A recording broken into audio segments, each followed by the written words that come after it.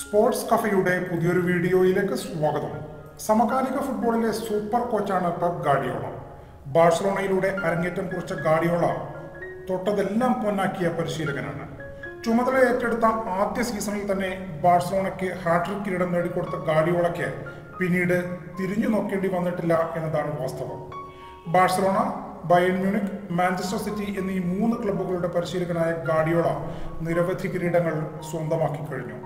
ആക്രമണ ശൈലിയിൽ ഒട്ടും വിട്ടുവീഴ്ചയില്ലാതെ ടീമിനെ കളിപ്പിക്കുന്ന ഗാഡിയോളയുടെ തന്ത്രങ്ങൾ എന്നും എപ്പോഴും എതിരാളികൾക്ക് തലവേദനയും വെല്ലുവിളിയുമാണ്.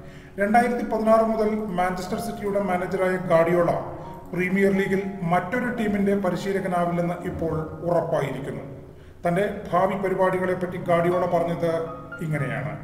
മാഞ്ചസ്റ്റർ സിറ്റിയുടെ പരിശീലകനാണ് ഞാൻ ഇപ്പോൾ. സിറ്റിയുമായുള്ള കരാർ കഴിഞ്ഞാൽ മറ്റൊരു പ്രീമിയർ ലീഗ് ക്ലബിൽ എന്നെ നിങ്ങൾക്ക് കാണാൻ കഴിയില്ല.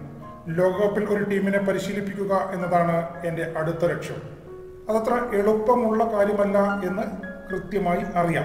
വളരെ കുറച്ച് അവസരങ്ങളെ ദേശീയ ടീമുകളുടെ പരിശീലകനാവാൻ കിട്ടാറുള്ളൂ. അത് നടന്നില്ലെങ്കിൽ ഞാൻ മറ്റേതെങ്കിലും ക്ലബിന്റെ പരിശീലകനായി തുടരും. എന്തായാലും ഇംഗ്ലണ്ടിൽ ഞാൻ ഉണ്ടാകുന്ന സമയത്തെല്ലാം മാഞ്ചസ്റ്റർ സിറ്റിയിൽ തന്നെയായിരിക്കും എന്ന് ഉറപ്പാണ്. എന്നെങ്കിലും ഞാൻ ഇവിടേക്ക് തിരിച്ചു വരികയാണെങ്കിൽ അത് ഇത്തിഹാദിലേക്ക് മാത്രമായിരിക്കും. ഇംഗ്ലണ്ടിൽ സിറ്റിയെ അല്ലാതെ മറ്റൊരു ടീമിനെ താൻ പരിശീലിപ്പിക്കില്ലെന്നും പെപ് ഗാഡിയോള വാർത്താ സമ്മേളനത്തിൽ വ്യക്തമാക്കി. നിലവിൽ രണ്ടായിരത്തി ഇരുപത്തി മൂന്ന് വരെയാണ് സിറ്റിയുമായി പെപ് ഗാഡിയോളയ്ക്ക് കരാറുള്ളത്.